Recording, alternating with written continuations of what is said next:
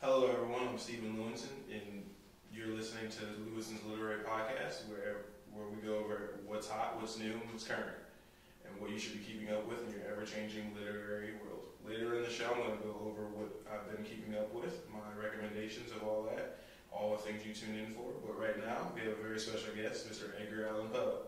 Edgar, how are you doing? Doing well, doing well. I, uh, I'm excited to be here, Steven. Edgar, you have a big following listening on the show tonight, and we haven't heard from you in a while. What have you been up to? She's been, she's been doing me, you know. I uh, took some time away from my work, uh, and uh, just getting to know myself, and uh, doing better than ever. Yeah. When you say taking some time away from your writing, you mean you've been dead? Well, Well, now it's been very well documented on October 7th, 1849, Baltimore, Maryland,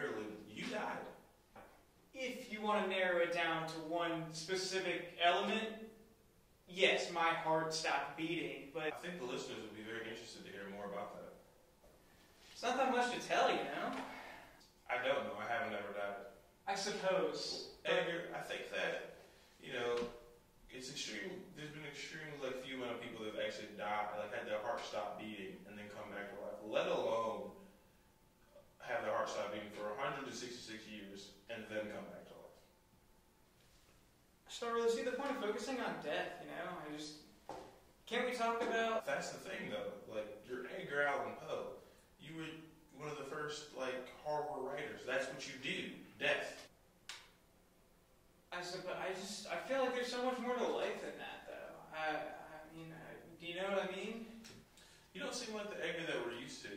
It, you seem different since 1849. What have you been up to?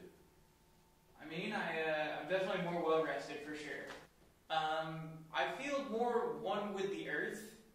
Like, like I'm just, you know, I, I feel a part of life instead of me just like moving through it. Uh, you know, if you know what I mean. Do you know what I mean? I'd be well rested too if I was dead for 166 years.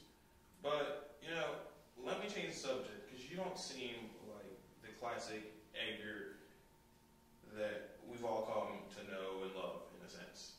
Like the the Edgar that we co- that we know was used to be very descriptive, and you seem to have a very very hard time with that. And it's I think it's more than it's just 166 years of you just being six feet under.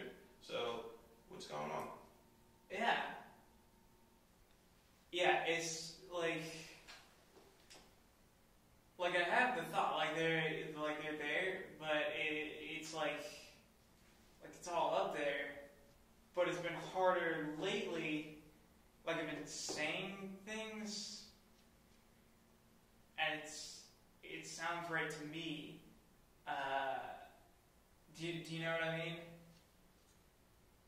Maybe brain dead a little bit. Well, I What what is this? That what I was trying to get at is, Is is trying this to get at is that's not mine. Have you been smoking cannabis the whole time? say, what I was trying to get at, uh, I've never seen that before in my life. gentlemen, this just in from Lewinson's Literary Podcast. If you're wondering why Edgar Allan Poe is at a very hard t- is acting strange on the show, it's not because he's been dead for 166 years. He's been smoking the marijuana.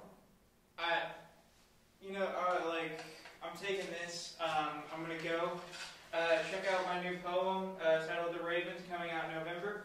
Your poem's been out for 170 years. Peace in the southeast. We had a civil war. It happened. Where where are you going?